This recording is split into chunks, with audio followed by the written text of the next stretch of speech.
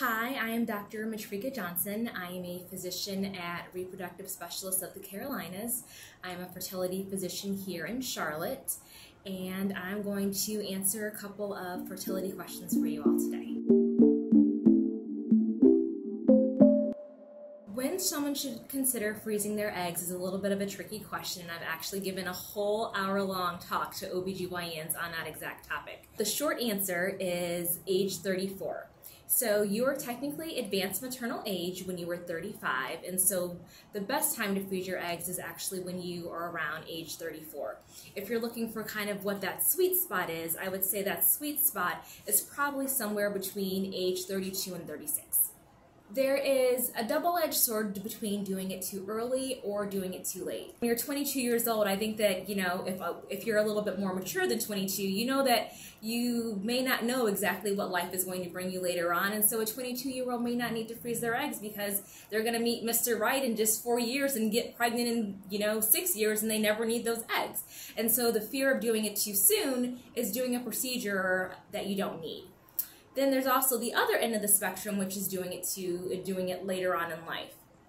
And part of that is women as we age, you know, our eggs become more abnormal as we age. And even if you're living your 40s like your 30s, our ovaries and our eggs know how old we are. And so if you decide to freeze your eggs, you know, a little bit later, you can still get, you know, a good number of eggs, but the problem is is the quality of those eggs is not going to be as good. When people come in to freeze their eggs, one of the most common questions that I hear is, what, how is this going to affect me later on? And so what I always tell patients is, you know, it's not going to make you go through menopause earlier. I can't steal eggs from the future.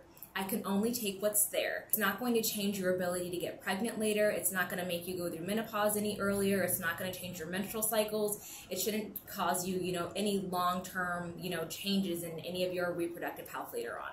When it comes to giving patients, you know, the number of eggs that they need, I generally tell patients that in general, you should have about 10 frozen eggs for every one pregnancy that you'd like to have later on. What I also tell people is your body can only do what your body can do. If your AMH level is lower, you may not get as many eggs as someone that has a higher AMH level. And, you know, I try to tell all of my patients you should be happy with whatever it is that you get because that's the best that your body can do. As far as looking at testing to predict how many eggs someone's going to retrieve, I usually can tell people that, you know, your antral follicle count or the follicle count that we get somewhere between cycle day two and six gives us an idea, but it doesn't absolutely tell us because that count can vary, you know, a little bit from month to month. I usually will say that, you know, the number of eggs that we get from that antral follicle count is going to be that, maybe plus or minus three or four. I think that people a lot of times don't hear the minus of that. So if we see 10 eggs, we might only retrieve six, or if we see 10 eggs, we might retrieve 14. But the other tricky thing that we need to know is it's not how many we retrieve, it's how many are mature. We can only freeze mature eggs. The process of egg freezing, so it's about a two week process. It starts when you come in to get what we call stim start. And so on that day, you get started on your injectable medications. Um, you usually get started on two injectable medications, and those are what we call subcutaneous injections, which translate to they're shots that go in your belly. And so you will usually start those, and then once your estrogen level gets high enough, you'll start generally a third injection. After that third injection, I usually tell people they're going to come and hang out with me about every other day for blood work and an ultrasound. And the blood work is to make sure that the estrogen levels are going up, the ultrasound is to make sure that the follicles are growing.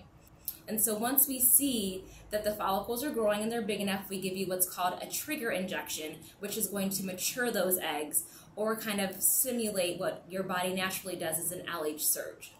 So then once we give you your trigger injection, your retrieval is exactly 36 hours after that after that trigger. So if you take your trigger injection at 9 p.m. on Monday, your retrieval will definitely be at 9 a.m. on Wednesday. The retrieval is a surgical procedure. Um, you do get sedation. That retrieval procedure takes anywhere from 15 to 30 minutes. It really just depends on how many eggs there are to retrieve as far as you know doing an egg freezing cycle and you know what you can expect from the medications and how they make you feel um, in general the first thing is the medications themselves so you know i will be honest some people can have a little bit of anxiety with it because it is giving yourself a shot you know, and some people can have, you know, a little, you know, irritation with it because it is, you know, putting a needle in the skin. You can have, you know, some bruising or you can have some local skin irritation, and that's purely the needle part of it. The other thing that people can feel, how it makes you feel, is it makes you feel like your estrogen levels are really high. So it kind of mimics the way that you would feel if you were pregnant. So, you know, you can have headaches. You, if you are prone to menstrual migraines, you may have headaches. You can have breast tenderness. You can have changes in your mood. You can have changes in your vaginal secretions. You can have changes in your sex drive. Um, and so those are the different things that people can experience. As far as after the retrieval, the most common things that people tell me afterwards is that they have constipation, bloating, and weight gain. So it's kind of like all the gross ways that you feel at when you're on your menstrual cycle. That's kind of the way that you feel after a retrieval. And it does take about seven to 10 days for all those things to go away and for your favorite jeans to fit again. As far as having sexual intercourse while going through an egg freezing cycle, in general, I will say once people get far enough along, I usually say you should probably refrain from sexual intercourse, but it's purely from a discomfort. You know, your ovaries are usually the size of an almond. And you know, when you're going through stimulation, they can get, you know, on the upward sides of like, I don't know, like an orange or in some people even a grapefruit. And so you can feel that. And so it just might not be comfortable. If it's not bothering you, then there's no reason to not have intercourse.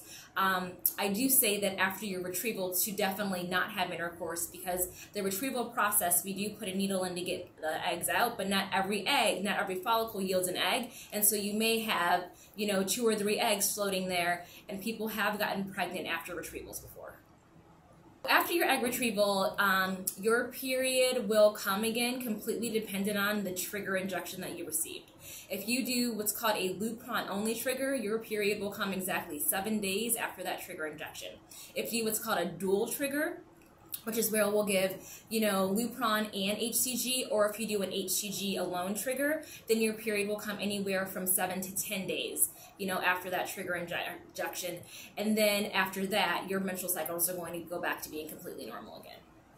You know, so how long can your eggs stay frozen? So as far as your eggs, I love to tell people there's no shelf life, there's no use by date, there's no date that says they're going to expire if you don't use them by this date. Um, you know, as far as the data that I've personally reviewed, um, the longest that I've seen eggs cryopreserved that actually led to a live birth was 10 years. Um, we also have to realize that this technology was, you know, it's newer, and so they took the experimental label off of egg freezing in 2013, and so and it hasn't even been 10 years since then. So I think that at this point we don't have a use by date.